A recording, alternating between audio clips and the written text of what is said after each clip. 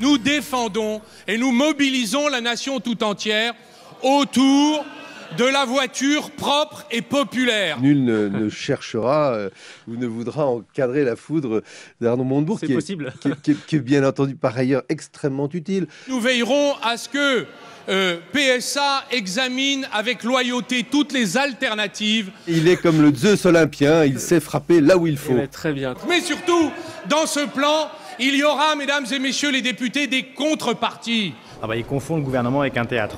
On n'est pas en Union soviétique. Euh, le message qui a été adressé euh, aux entreprises est purement irresponsable. Avec M. Montebourg, c'était n'importe quoi. C'était vraiment, il se conduisait en procureur et non pas en ministre. Si on a un ministère euh, joliment et poétiquement intitulé du redressement productif, faudrait-il qu'il serve à autre chose qu'à nous faire du redressement médiatique? Regardons l'ensemble et soyons intelligents collectivement. Finalement, la vie est mal faite. Je ne pourrai pas participer aux travaux. Peut-être aussi que la vie est ailleurs, pas toujours en politique. Une Bachelot ferait bien de se taire. La semaine dernière a été une semaine de perdu, une semaine pour rien, parce que au-delà des outrances verbales de M. Montebourg, rien de concret. Et puis le Premier ministre qui est dans, ben, dans cette hésitation, cette incapacité pour le moment à trancher. Nous, nous ne sommes pas l'UMP.